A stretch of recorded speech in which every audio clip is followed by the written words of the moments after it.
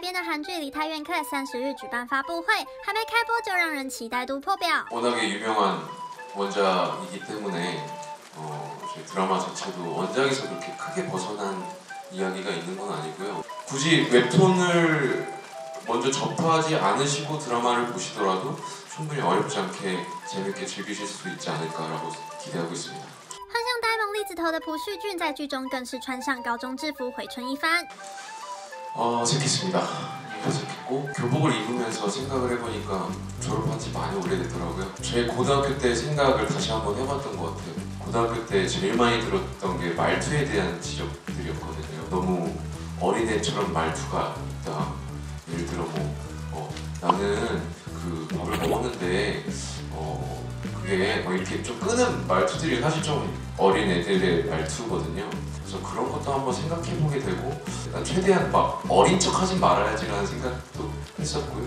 그리고 한편으로는 지금 얼굴이 중학교 2학년 때 얼굴이기 때문에 고등학교 뭐 어, 상관없을 것 같다는 생각도 했습니다.